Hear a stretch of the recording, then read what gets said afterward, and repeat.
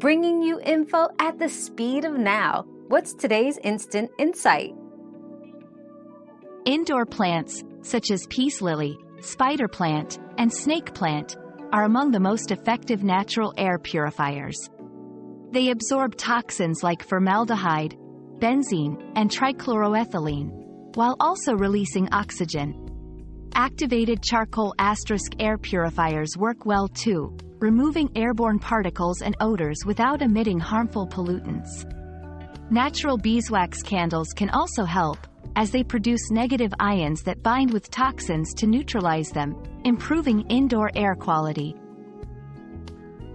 We've quenched today's curiosity, but there's always more to learn. Keep the curiosity alive by subscribing and joining us for our next adventure.